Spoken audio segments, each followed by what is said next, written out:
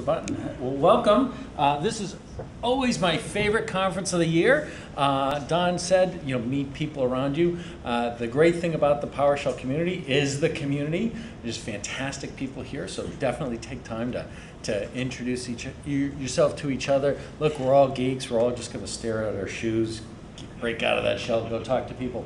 So I thought I'd first talk about the state of PowerShell. And um, uh, I recently, you know, we've been partnering with Chef for a while now, and we've got a great relationship there. And I had a great conversation with their CEO, Barry Crist. And he made a, a, a comment to me when I first met him. And he said, you know, we've been, we've been, hello. We've been looking at PowerShell for quite some time now.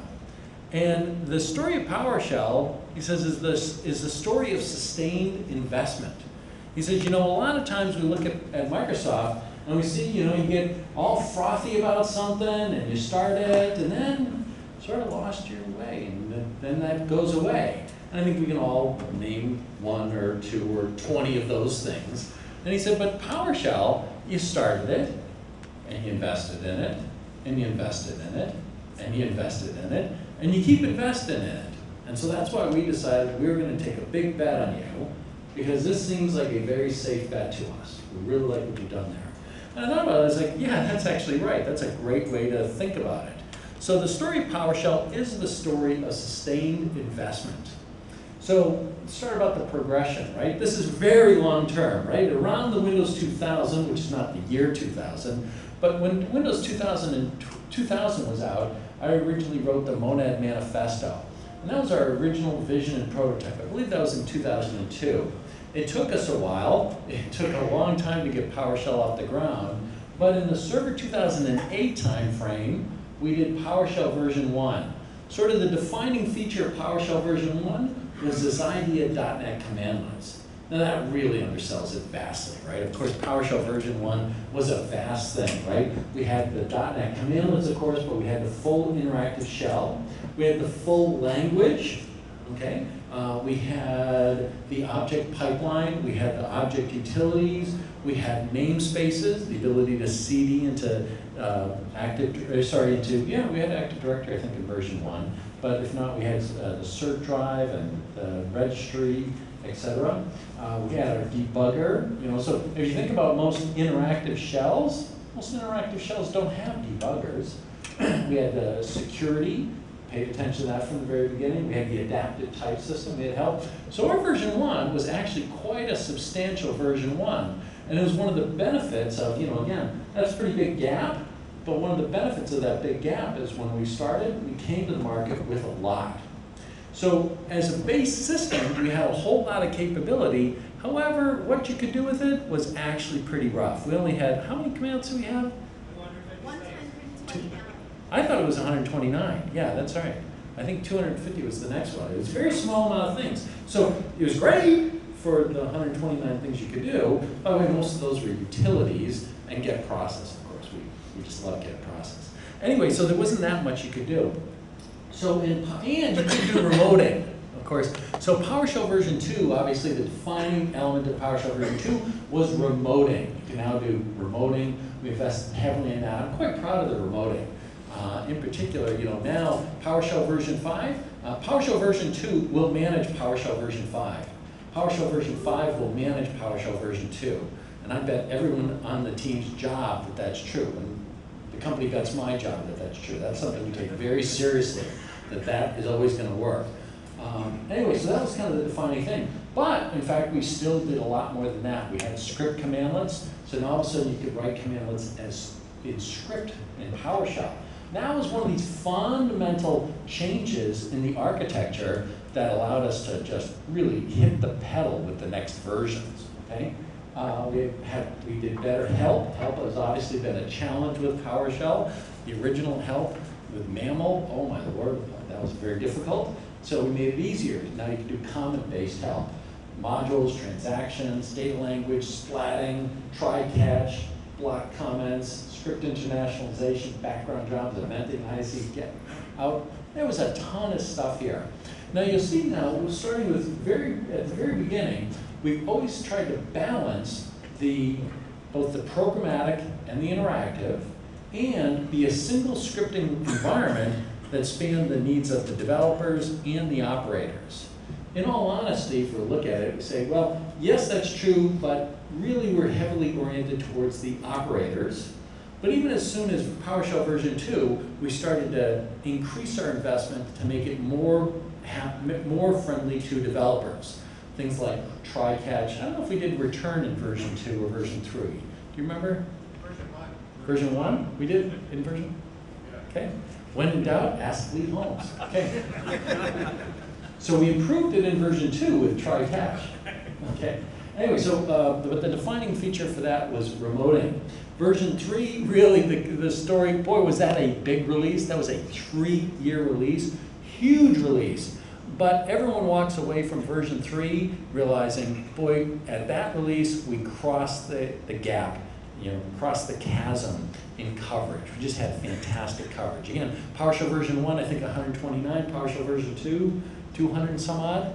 And then PowerShell version 3, I think 2,500, 2,500 commandlets. Now, one of the reasons why was because we had done the CDXML, and this was gave the Windows guys the ability to write their commandlets in, in, in native code, in particular in WMI.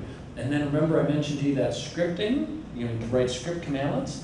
Basically what we could do is we could reflect against those things and auto-generate commandlets. So this idea of meta-programming. And you're going to see that idea over and over and over again. It's one of the key concepts in PowerShell is this meta-programming, programs which write programs. Jim gave a great talk today about, what did you call Simplex? Simplex is a meta-programming system.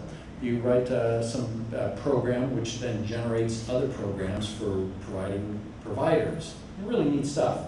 So boy, just look at that list. Uh, workflow, updatable help, delegates, constrained language, huge, huge, huge, huge release. Uh, landed very, very well. But did we stop? The answer is no. Version 4, we continued on, and version 4 was when we made the big shift and started to go big on desired state configuration. Uh, now this was the first version of desired state configuration, and internally we refer to this as the 0.9 release. So we, we, we moved to this model, right? If you're not familiar, the, the uh, desired state configuration is all about the sort of agile development and trying to have a management system that, that supports that and the sort of cloud-oriented management. So we decided we'd embrace that ourselves and do what's called a minimal viable product. Minimal viable product is, what's the minimal viable product to get people to use the product and then tell us what's next, what's next, what's next. Okay? So instead of us, we thought, you know, version 3 actually worked out pretty well, but honestly, the, the, the mechanics of it were unsound, right? And we spent almost a year kind of planning what we were going to do, and then we did it, and then we validated it for a year. If we were off, you know, it's like, well, just hang in there. Three years from now, I'll fix it. That doesn't sound right. So instead, what we want to do is we want to say, hey, here's this thing, try it. What do you think? And then you tell me, oh, you don't like this. oh, great, here's another version. How's that? Oh, that's great, but now it's missing this. So we want to move to a more agile footing. And that's what you heard Kenneth and Angel talk today. We got into this agile footing. Well, anyway, so the joke was that desired state configuration is really version 0.9. Uh, you'll see there's an update to um, uh, PowerShell server, update to Windows Server 2012 R2. Uh, what do they call it then? The November update? Yeah, the November update for um, that OS. And Stephen will tell you the update. The key thing was we listened to our customers, right? A lot of people using it. Murawski was using it. Other people telling us where it wasn't, where it was 0.9 and where it needed proof. That one really got us to like a 1.5. I mean, it's a really substantial increase. And, and people use it, and love it because it meets their needs. Anyway, so uh, got into desired state configuration, PowerShell version 4, lots of great stuff, but that was really the focus. And then since then, PowerShell version 5, honestly, we're just you know, putting uh, uh, all of our weight behind this DevOps mindset, right? So DevOps is a style of doing management. Uh, the big, obviously, the, the kind of uh, showcase feature of, of DevOps is desired state configuration. Huge investment in that area in this release. Uh, but there's more to it than that. We invested in the PowerShell Package Manager, what used to be known as OneGet, until some guys on the team made the disastrous decision to ask permission from lawyers as to whether they could use that name. It turns out that there's some like septic system company in Spain that has a product called like Get One, and the lawyers were convinced we'd have to pay them millions of dollars to license the name One Get, so we couldn't do that. So, so thus, uh, PowerShell Package Manager was born. Anyway, so the nice thing about PowerShell Package Manager, if you haven't used it, is the ability to sit on any box and basically get access to all the things you want. So you just sit there and say, hey, give me the sysinternal tools. Give me Simplex. Oh, by the way, Jim, I, I loaded up your Simplex. Right after your talk, right after the talk, I sat there and I said, oh, install module Simplex. And it went out to the repository, found it, and installed it, and I'm going to be playing with that tonight. So it's just, it just transforms the experience of PowerShell. So it's about this nice agile world, okay? So desired state configuration, finding objects. Uh, we did the Azure Extension Agent, so we're working very closely with the Azure guys. Hey, how can we help you? How can we help people consume more of Azure? Uh, we did the Script Analyzer, um, using uh, lots of work on security, etc. So tons of investment. The key message I want to point out here is that the story of PowerShell is the story of sustained investment. Okay? So the question is, will it continue?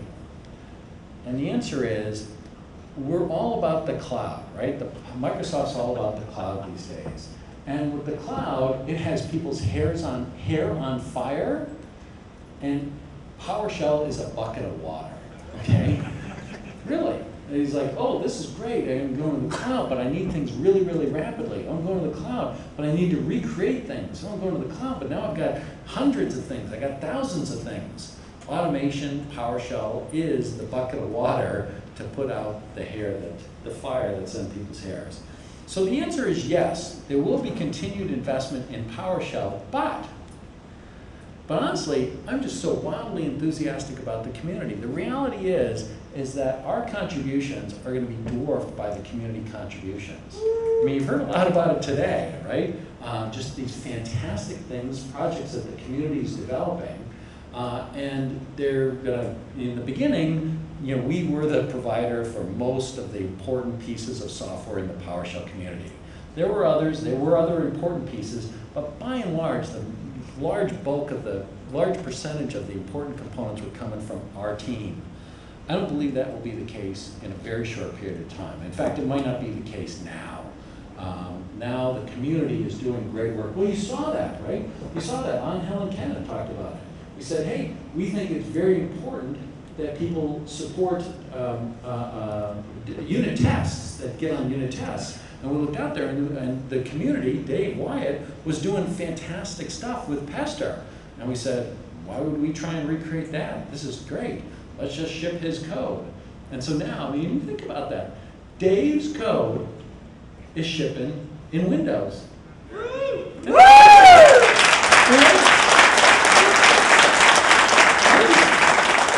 blows my head. You know, it just explodes my head. That's just such a wonderful world. So, I mean, I got to tell you, Dave, you should be, where's Dave, by the way? Yeah, you should be strutting around. I mean, you people should be buying this guy beer. We roll tonight. He will, yeah. I mean, that's just craziness. I mean, how many people outside of Microsoft? I mean, yeah, some other products, maybe you pick up a little code here. But Windows, anyway, that's that's crazy. So that's great. So there's this explosion in community community support. Of course, we've always had great community support, and of course, we've had great ISV support. You know, lots of our the ISVs in our community have great PowerShell support. That continues to grow, and we really achieved critical mass with the uh, coverage with 2012 R2. Uh, and what we're seeing, so, so we see this critical mass of 2012 R2 as our community, our, our uh, customer base, adopts the later versions of the OS. Look, if you're, if you're an IT pro and all your machines are on Windows Server 2003, you're not part of the PowerShell community. You can read about that stuff, but you're not part of the community because it isn't gonna help you. PowerShell version, well, PowerShell just doesn't run on two thousand and three. All the interesting stuff in PowerShell's happened in later versions of the OS. So as people get off those older OSs and pick up the later OSs, we're seeing a big increase in the number of users, the- the size of the community using PowerShell. Now, PowerShell in version two, in uh, 2015, notice here I'm not talking about a, a version of PowerShell. I'm just talking about PowerShell a lot. Because as you heard uh, Kenneth and Angel mention, we're making investments in PowerShell that will go down level. And I don't know if you caught this, it's not just down level versions of Windows. Like PowerShell version 5 will go to down level versions of the OS. Windows 7 and 2008 are 2 and above. What we also said is there are components of the, the stuff we're doing that we think are so important, we're gonna take those and we're gonna bring them down level to previous versions of PowerShell. So the PowerShell um, uh, package manager, that will be available in previous versions of PowerShell. And there's, we're looking at some other components, but, so that's why I'm not laying this to a particular um, version. So we have PowerShell Package Manager and PS Get. This dramatically reduces the friction of both getting community components and for sharing them. So now all of a sudden it makes it easy to share. We got the PowerShell Script Analyzer and Pester. And what this does is it extends PowerShell. What, what happened was a lot of people were very excited about PowerShell, they said, but wait, I'm running my real production system here on it. Where's my, you know, how do I make sure that this is safe? And okay, well, it's safe, but then somebody changed something. So is it still safe? And so, in fact, uh, we had people internally who were like the, the, the Lync team. The Lync team was using PowerShell to manage all of Lync Online, the whole thing, run Lync Online. And so they went and wrote their own equivalent of Script Analyzer. So as people modified their scripts, they could make sure that they were adhering to their guidelines. And so obviously, we don't want everybody to go write their own parser and uh, uh, script analyzer. So script analyzer and the ability to generate unit tests now mean that people can write PowerShell in a way that can support production environments. They can make a change and feel safe that it's not just some scary thing, that they know that it's going to work. Of course, desired state configuration platform and the ResKit uh, now extends the community to the DevOps community. So what you're seeing here is that the community grows and grows. We're working on classes and Posh tools. This is extending the community to the developers.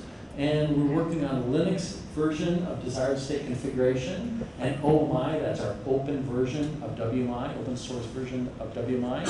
Uh, this is extending uh, the community uh, to the Linux community as well. So there's just, uh, you know, things are going well. 2015, it just gets better. Uh, and by the way, that's just a small set of the things that we're doing in PowerShell in this, in this year.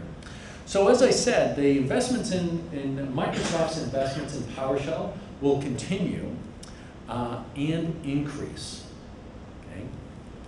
So PowerShell going forward, PowerShell Microsoft going forward. This really is a story of two influences. Uh, first is Satya, and the second is the cloud.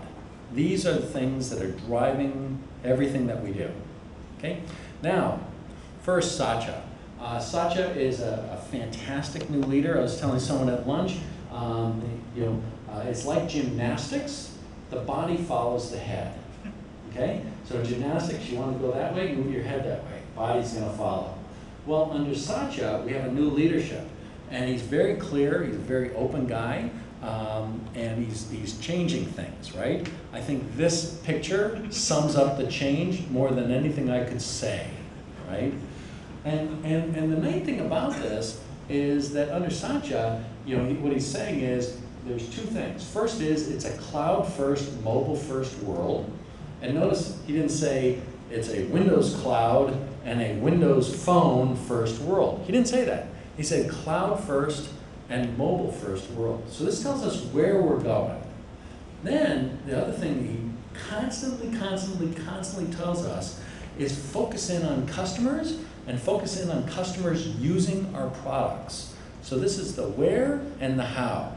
And when he talks about customer usage, he says, make sure customers use our products. Make sure they succeed with our products. Make sure they love our products, right? Don't, make, don't worry about getting them to order our products or buy our products or worry about monetization. Look, we got smart guys who can figure out that stuff.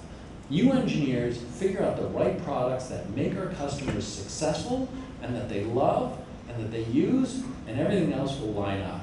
Okay? Now here's the great thing about Satya. It's not bullshit. It's not. It's not. And it's not PR. And even better is it doesn't get diluted or interpreted as it makes its way down the, the, through the organization. I mean, sometimes that happens. Sometimes you're, the new lead will say, you know, new lead of an organization say, we're heading in that direction. And uh, then as it permeates down, the guy, you know, your executive says, yeah, we're eventually going to lead in that direction, but we're going to go this way. Okay, we'll get there some other time. That is not happening at Microsoft. It's just wonderful. From, from Satya on down, on down, on down, the message stays the same, stays constant, and people have the courage to do that. I mean, we have these meet discussions. It's like, um, hey, we should, we could do this or we could do that. And it's like, well, focus in on using you know, customer usage. Make sure customers are happy, make sure they're using this. And it's like, well, but we don't know how to monetize that. So don't worry about that. We'll figure that out later. Just focus in on usage. And it's like, wow, it's real. So anyway, beautiful world, love it. Um, now, in terms of the cloud first, this is the Cloud Design Center. And a lot of people, um, let me take a digression here. Uh, a lot of people hear cloud and they say, okay, I understand why you're doing that, but I don't, you know, I don't like that story because I'm not going to the cloud, or I'm going to go to the cloud, but not for a couple years. And here's the story I tell you. Here's the way to think about this.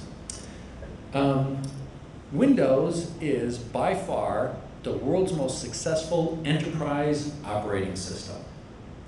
In the past, that used to be a statement about desktop computers. Right? We were a fantastic desktop enterprise you know, operating system.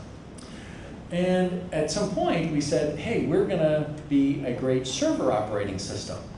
And at the time, people just thought we were insane, right? Because if you recall, the defining user experience about our desktop operating system was a feature we called the blue screen of death. now, so here's the thing that people are experiencing this blue screen of death on a regular basis, and and we're saying we're going to turn that into a server operating system, and they just looked at us like we were insane, like like you guys, that's never, ever, ever going to happen. You're just out of your mind. And yet today, 73% of every server built today will end today, this year, will end up with Windows Server on it. Okay? So we took a direction, we executed it, and you might say, oh, well, did you, you shifted your way around, uh, away from the desktop? And the answer was no. When was the last time you guys saw a blue screen to death? They still happen, but they're pretty rare. Our investments in the enterprise server operating system greatly benefited our enterprise desktop customers. In the same way that we shifted from the desktop to the server, we're shifting from an enterprise way of doing things to the cloud. Well, let's just talk about that. Let's be real honest about that. As the world, the marketplace is shifting to the cloud, we have some of the world's largest services running on Windows. Bing, Azure, Office 365. But it's a statement of fact that when a startup company decides to do a, web, a cloud startup, Windows Server is not their operating system of choice. It's my job to change that and to make Windows be the operating system of choice for the cloud. Now, some people, again, look at us and say, that'll never happen. Let me tell you, the challenges I have in doing that are nothing compared to the challenges of taking a desktop operating system and turning it into an enterprise server. But we do need to make these cha changes. So part of this is changes in the way we manage, part of this is changes to the operating system. So I don't know if you saw last week, but I announced the uh, Nano Server. Nano Server is a deployment option for Windows Server. It is 20 times smaller than server core, which is very small compared to full server. I mean, it's just crazy small, so lots of great stuff. But the key thing I want to point out is, you're going to hear us talk a lot about the cloud, and if you're sitting there in the enterprise, you need to realize that the vast majority, not all, not, definitely not all, but the vast majority of the things we're going to do to be a great cloud operating system are going to benefit you even if you don't use the cloud. Desired state configuration. Desired state configuration came explicitly from the analysis of how we needed to change to do great for the cloud. And the reality is, most of the people using desired state configuration are in the enterprise. Just to state the fact. So don't worry about that. So we're going to talk a lot about the cloud. Don't. Is everybody beeping here? What's that? Flash flood warning. Okay, well, if you see some flood coming up the the elevators, you let me know. I got a foot on you, so. It's been nice knowing you. Okay. So the Cloud Design Center. So we've got uh, aligned uh, Azure and Windows Server investments. We work together to decide what to work on.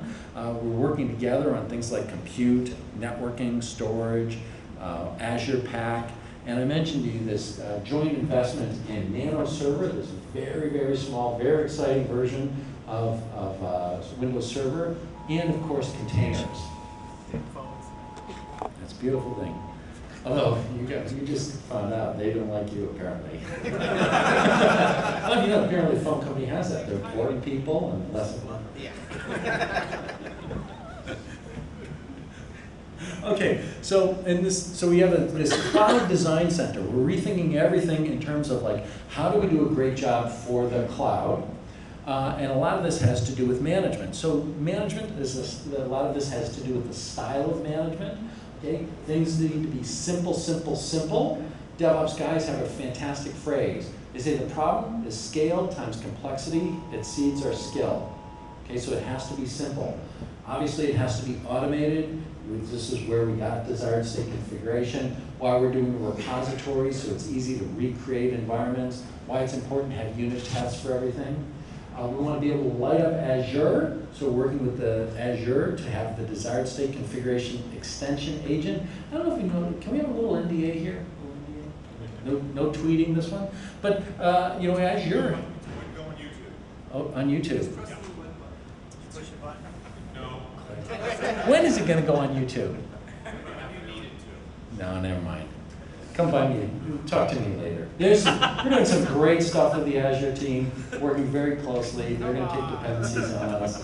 Wonderful stuff. And, and one of the reasons why we're supporting Linux, why we're taking desired state configuration, moving into Linux, is because here's the thing, to get in focus, is that in the context of Azure, Microsoft makes more money if you have 10 instances of Linux than if you have two instances of Windows.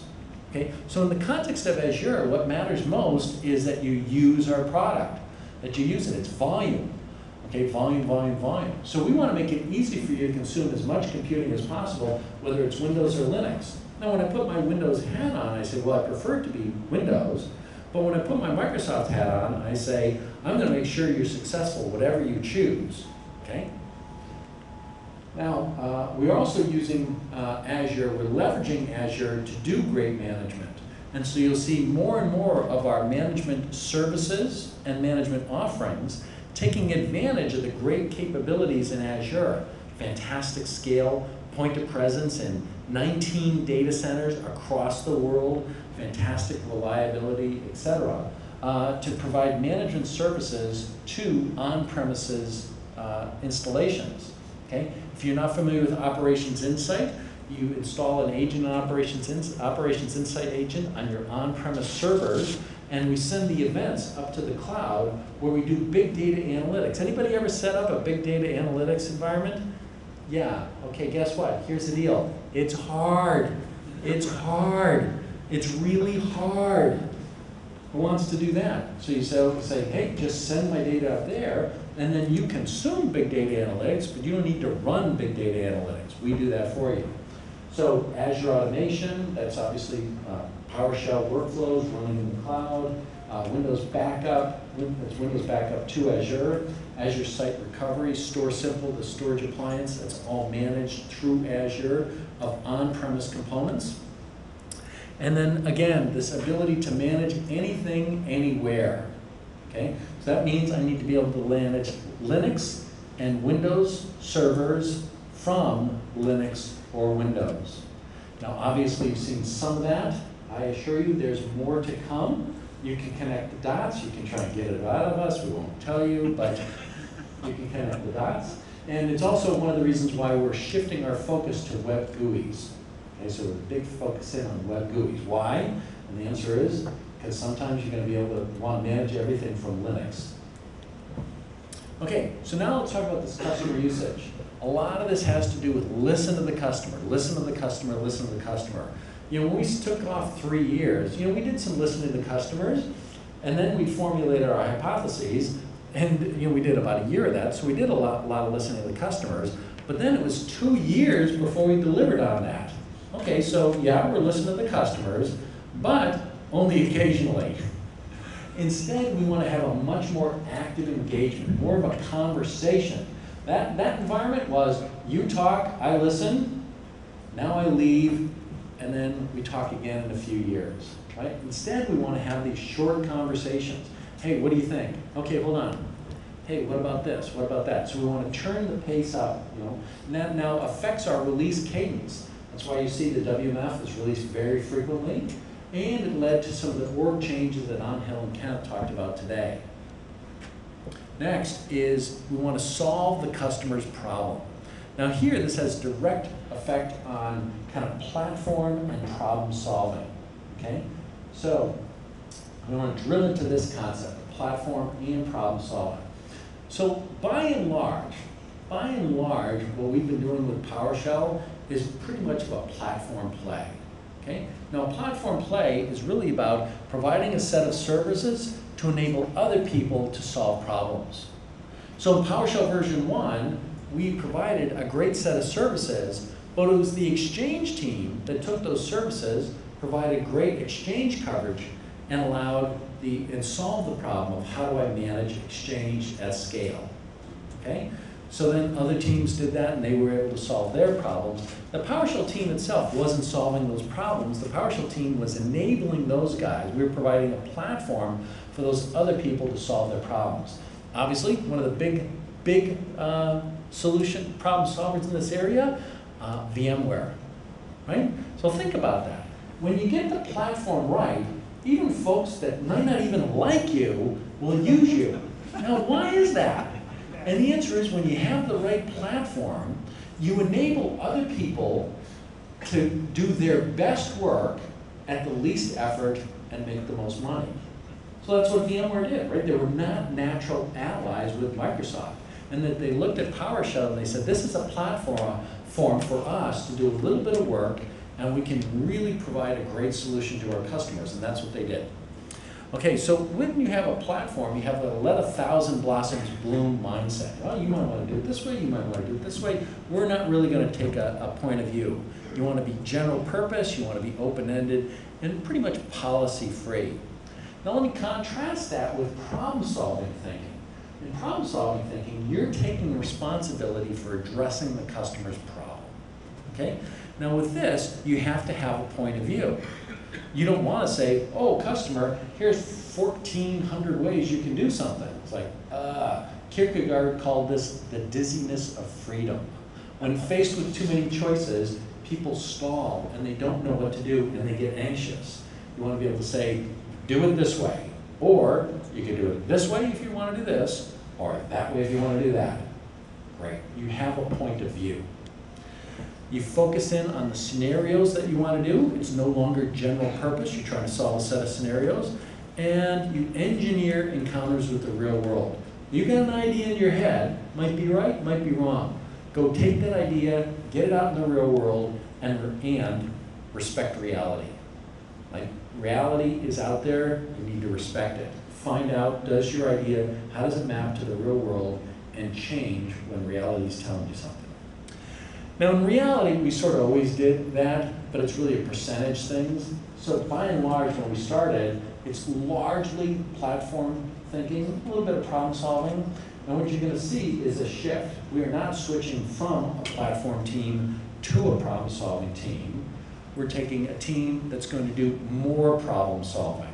And that's the way I think you should think about some of the things we're doing. We decided it was a problem, unit testing was a problem that we needed to solve. We did it with Dave's code, but we felt it was important for us to have a point of view. It's, by the way, one of the reasons why you might say, well, hey, Dave's code's out there. Why did you need to, why did you need to butt in? And we felt it was important for Microsoft to take a point of view, to tell the world, this is the framework to use. Everyone should rally behind this, and we're gonna support it. So you don't have to say, yeah, Dave, that guy looks pretty dodgy. Code looks pretty good, but I don't know. You know?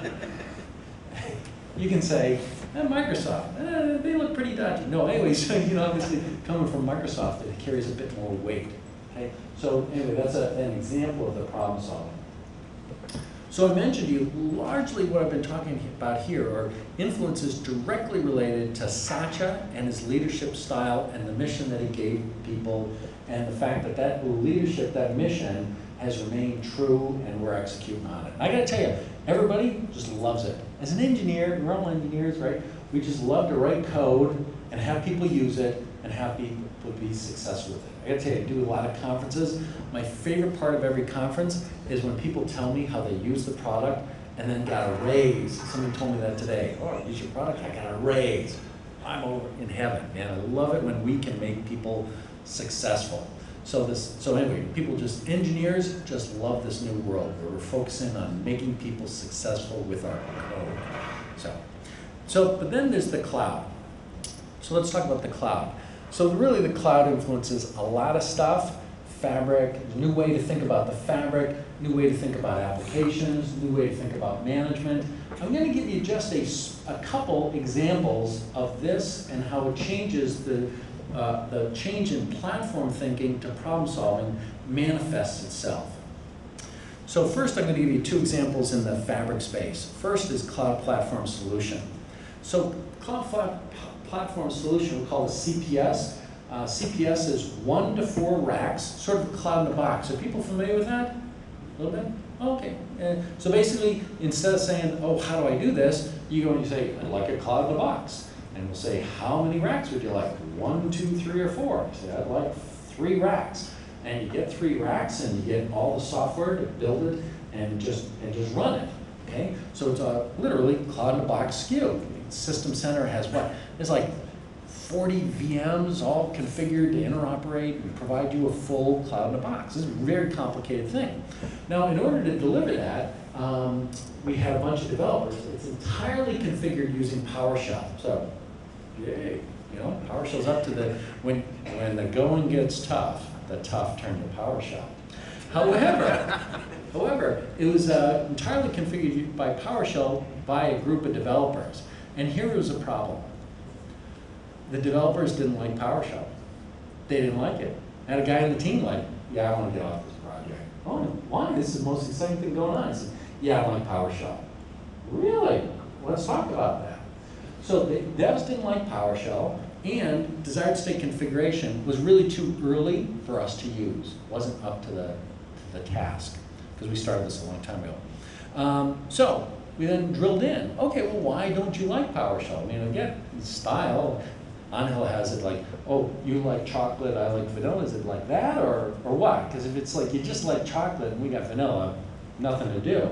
But we drilled in. Okay, well, what what is it? We were open to that. Respect reality. We're open. Okay, tell us what the problem is. One of the big problems was this idea of shell semantics, and we all know exactly what this means, right?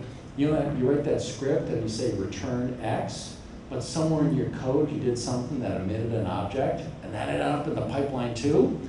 Like, if you're a shell guy, you, you know that. By the way, the return statement was just a misstep. We shouldn't have done that. But, but the idea that anywhere in a script you omit an object and that gets omitted to the return value, that's typical shell semantics. Admins get that. Developers put a return statement there, they expected that return statement to be respected, and when it wasn't, their head exploded. My head exploded at that too, I hate that freaking thing. Anyway, so what we did was, fine, we are now interacting, we, with classes, we introduced classes, so developers like classes, yay. But with classes come a new programming construct. It's a much more strict construct. So when you, uh, when you use classes, you have to declare the return type of your method. You have to have a return statement. And if you omit anything in the object, in the, in the thing, it gets thrown away. So that's what developers were looking for. So developers didn't like it because it had shell semantics. Now we solved that problem. Next is, it wasn't in Visual Studio. Developers like Visual Studio. This ISE thing, well, okay, but I'm a Visual Studio guy, and it's not Visual Studio, so, so I don't like it. Like, well, but it's great. But it's not Visual Studio, so I don't like it. So now, we got Posh Tools, Visual Studio integration. Thank you, Andre. Hey, this is great, but I'm a developer. This thing has to work, right? You pay me a lot of money.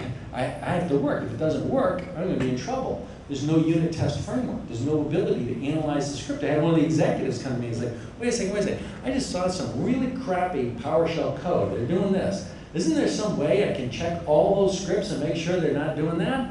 I said, yeah, wouldn't that be a good idea? So,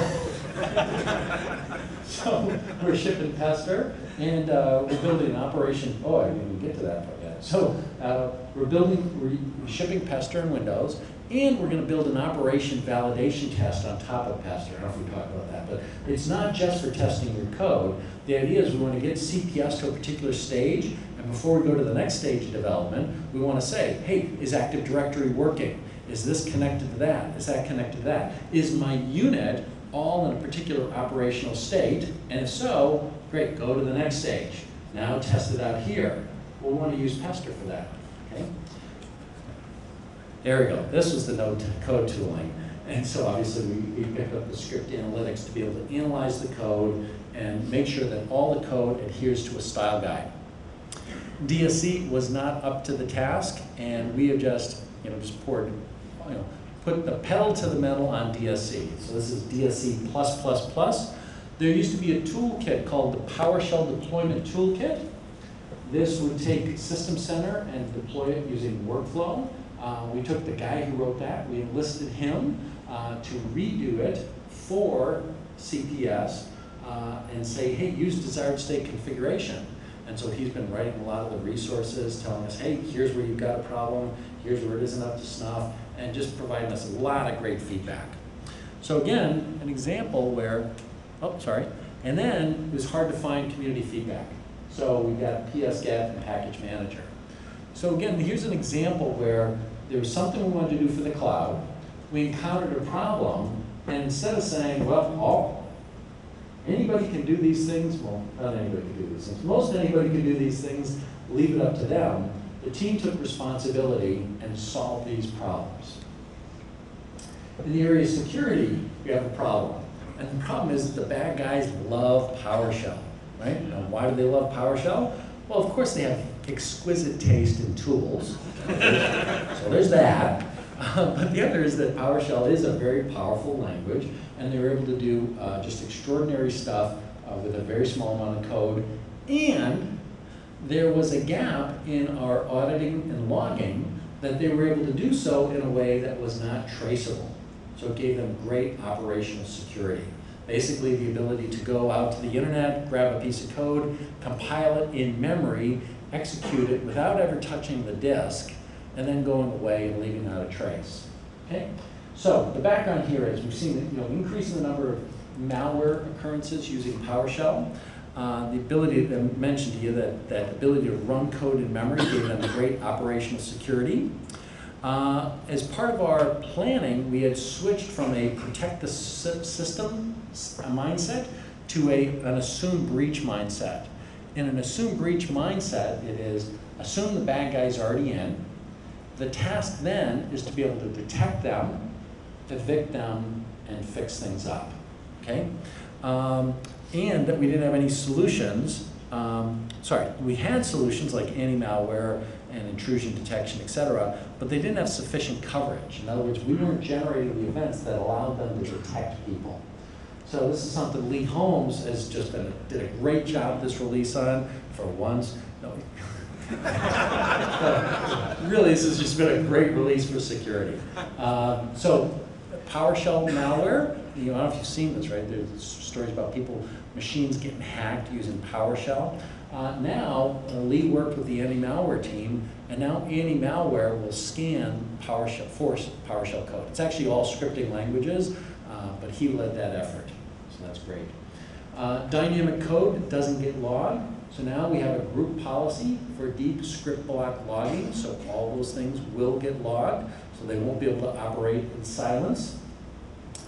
Connecting as a run as, if you connect to a run as endpoint, we didn't log who was actually doing it. We just logged the run as account. So now the logging includes both who connected to the user and who they're running as. Um, it was very difficult to thread together what actions were performed on the system. So these big data analytics, like, okay, I send things to the log and then I move it to the something in the cloud and I do a search against it.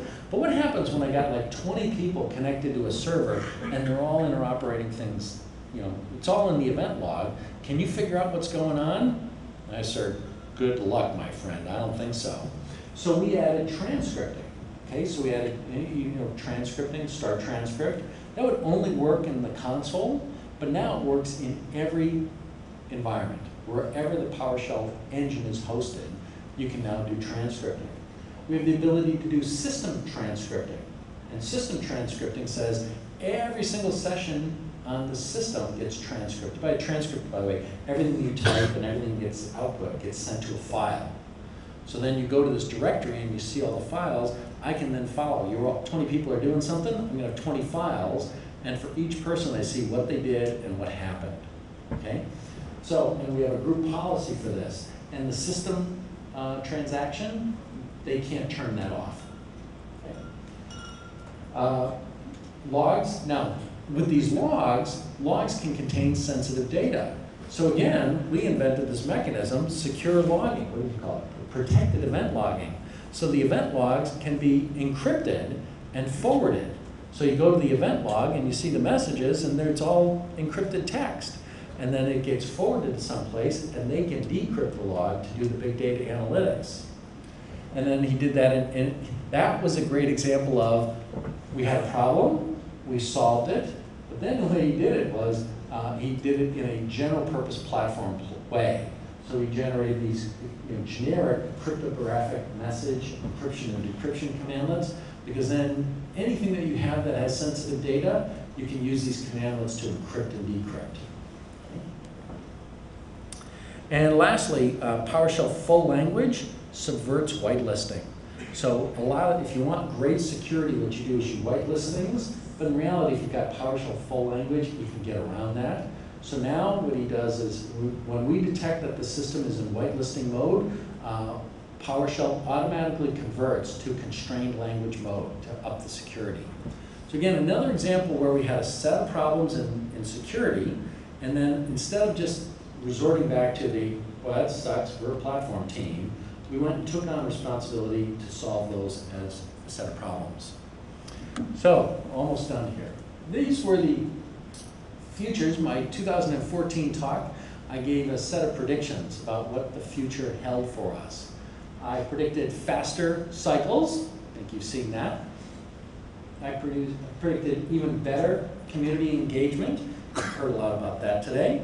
Uh, I focus in on developers and DevOps style of management. And again, the base assumption for all this was that we believe that people have more business value when they use more computing.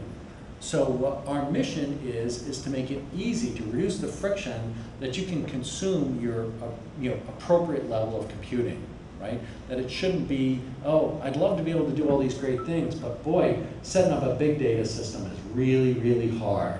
Oh, I'd like to do this, but setting up each incremental server is really, really hard. Our mission is to make it easy uh, for you to do that. I think you've seen our investments in that area. Again, these are my investments, my predictions from 2014. I had predicted that we would open source PowerShell, and here are my predictions this year. Predictions for this year. I predict faster life cycles, even better community engagement. Focus in on developer and DevOps. Base assumption will be that business increases with increased computing. Our mission is to minimize the risk and effort to consume tons of computing. And I predict at some point we'll have open source PowerShell.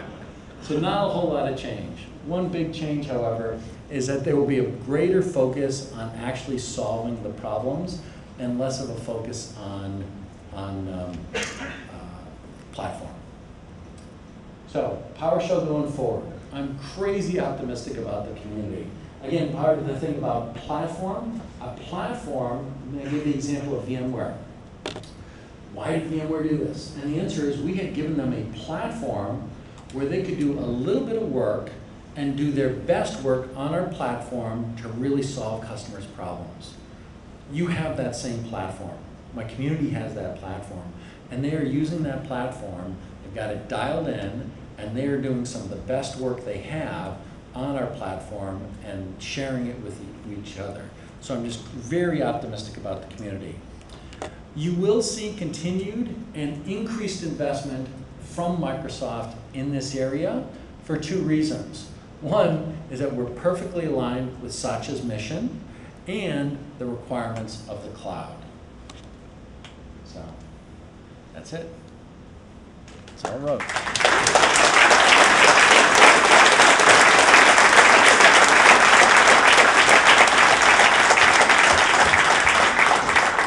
Thank you, sir. Uh, Did you push the button? I did not. Okay, well, you didn't push it coming up here, so we won't make you do it on the way down.